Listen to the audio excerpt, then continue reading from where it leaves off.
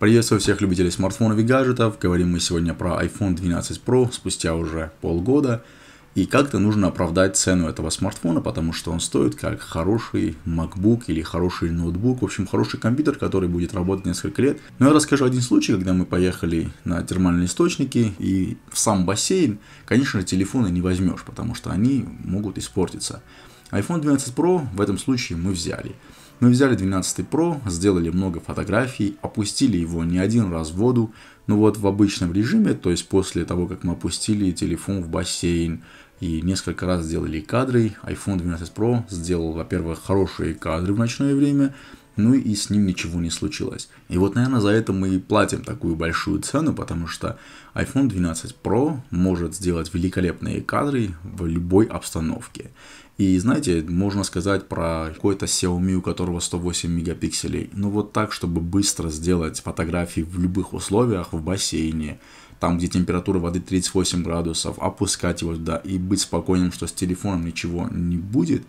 За это, наверное, мы и платим, за возможность получить или сфотографировать воспоминания, потому что iPhone 12 Pro это очень удачная и очень хорошая камера – как бы мы ни говорили про возможности разных Android смартфонов, Samsung и Xiaomi, iPhone 12 Pro очень быстро делает две вещи. Это ночные фотографии. У них это просто происходит все мгновенно быстро. И они делают сейчас великолепные ночные кадры, все происходит автоматически. Телефон понимает, включает и делает классный кадр.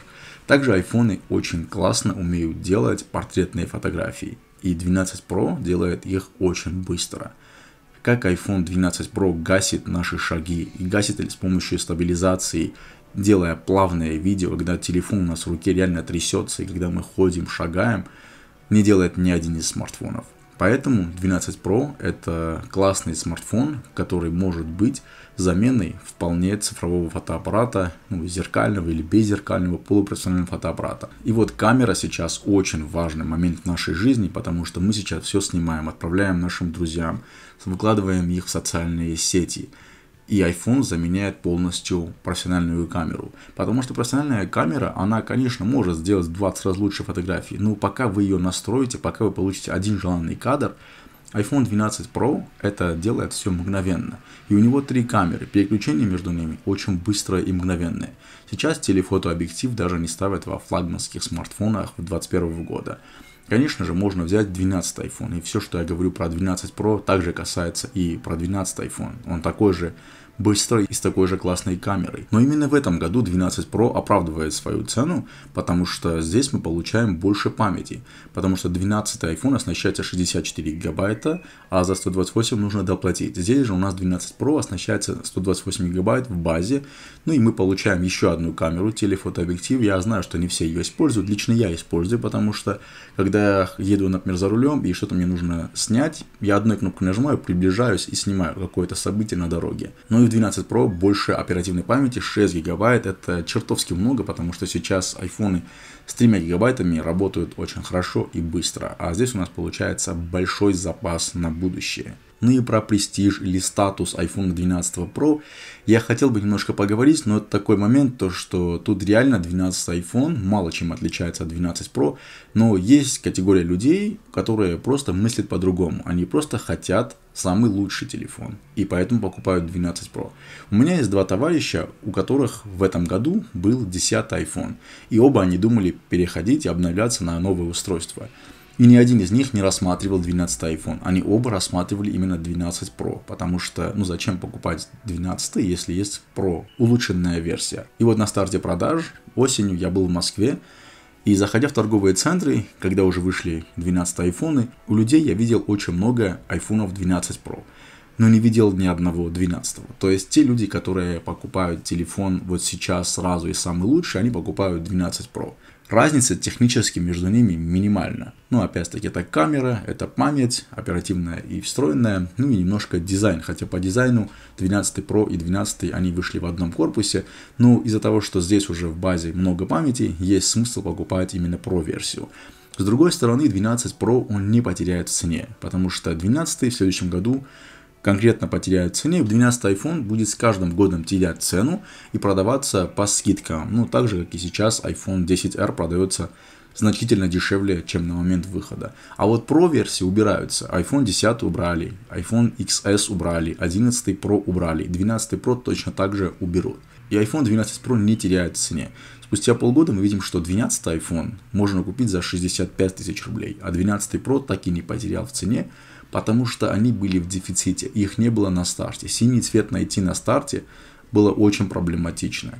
И люди гоняли за такими смартфонами. Это не Samsung, когда Samsung вышел и в подарок нам еще дают наушники, какие-то браслеты, делают какую-то скидку, а через полгода он теряет половину своей стоимости. У iPhone совершенно иная картина, они просто не теряют цене. Теперь немножко про дизайн 12 Pro.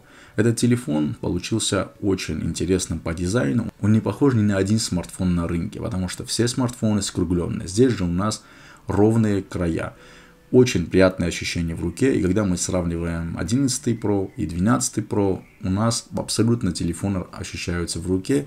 Это как бы iPhone 5s. Ну, это очень круто. Крутое ощущение, что-то новое, потому что смартфоны были на самом деле очень похожи друг на друга. Они все были закругленными краями. 12 Pro дает нам абсолютно другие впечатления.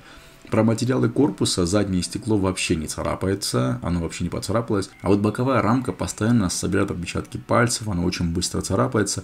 И сам дисплей тоже очень быстро царапается. То есть дисплей нужно защищать. Вот эти вот керамик, шилды и все такое, они очень прочные, дисплей сложно поломать, но он собирает огромное количество царапин. Поэтому использовать айфоны нужно в пленках, либо они просто будут царапаться. А что можно сказать про техническую часть и вообще кому это интересно?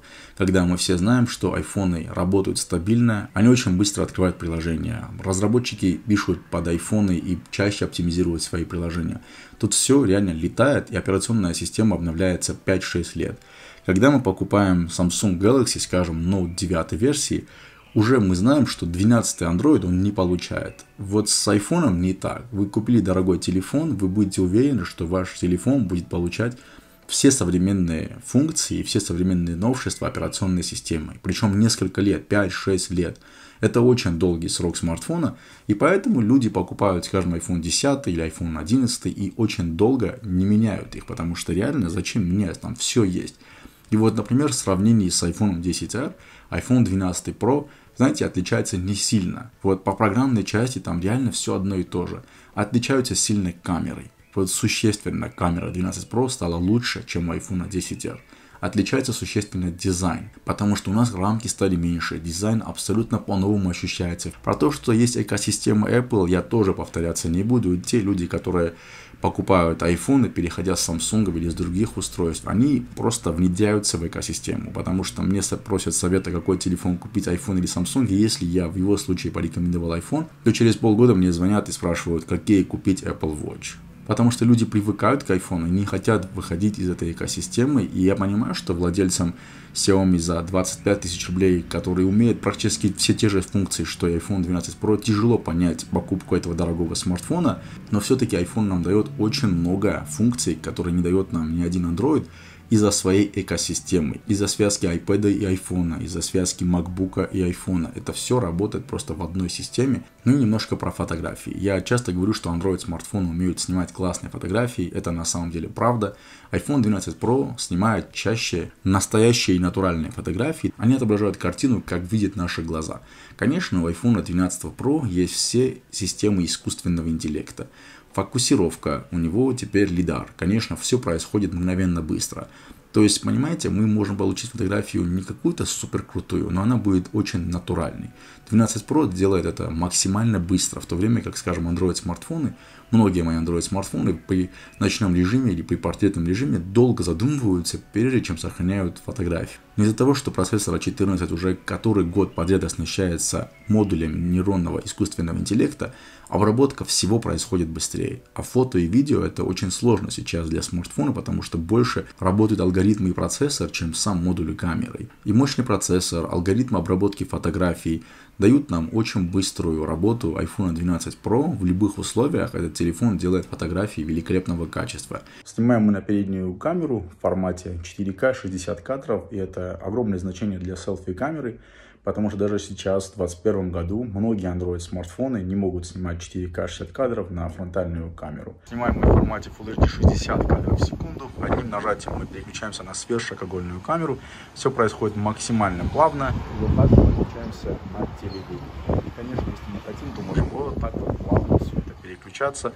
Вот плавность переключения между камерами очень классная. Всегда, всегда было классно у айфонов, потому что не скачет баланс белого, нет какой-то вот дерганности. Здесь все происходит максимально плавно. Находимся мы на природе, находимся мы в торговом центре. Мы можем быстро переключиться между камерами, не думать, что сверхширокоугольная камера даст нам плохую фотографию или то, что на телефотообъективе сэкономили, потому что на iPhone 12 Pro не экономят. Это настолько дорогой телефон, то, что на момент выхода в этот телефон внедрились самые лучшие, самые инновационные разработки у самой богатой компании в мире. Поэтому 12 Pro дает нам такую стабильную, незаметную для нас работу, а за этой работой скрываются огромное количество технических новшеств. Ну и на самый главный вопрос, почему 12 Pro, а не iPhone 12, Наверное, вопрос статуса. Если мы зайдем в какой-то крутой клуб или в крутое модное кафе, с вероятностью 99% вы там не встретите Xiaomi, не встретите OnePlus или какой-то другой бренд. У всех девушек будут айфоны, у большинства парней будут айфоны. Редко у парней будут Samsung S-серии или Note серии, но это те люди, которым именно нужны возможности Android смартфонов.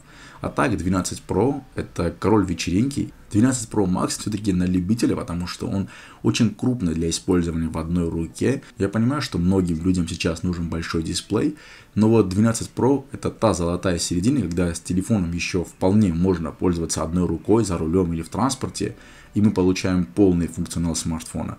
Потому что 12 Pro Max в этом году получился еще больше, он получился не на 6,5 дюймов, а на 6,7 дюймов. То есть это уже отдельное устройство, и теперь они вообще не конкурируют 12 Pro. Сейчас я хвалю этот телефон, и многие люди, у которых телефоны за 20, 30, 40 тысяч рублей, могут написать, что этот телефон переоценен. Я еще раз объясняю, конечно, он переоценен, но стабильную работу 12 Pro, постоянное обновление, великолепные камеры во всех сценариях использования, можете хоть телефон опускать в воду. Это все умеет iPhone 12 Pro, поэтому он стоит так дорого. То есть мы бы любой другой телефон не осмелились бы опустить в воду и сделать снимок. А 12 Pro взяли с собой, опустили, сделали фотографии и с ним ничего не случилось. Вот за это мы и платим такие большие деньги. Конечно, он переоценен, это всего лишь телефон, который может упасть и разбиться. Но вот те ощущения, которые дает нам 12 Pro и те моменты, которые он может запечатлеть на камеру, наверное, за это люди покупают 12 Pro. Напишите ваши мысли про iPhone 12 Pro. Спасибо, что смотрели до этого места. До новых встреч.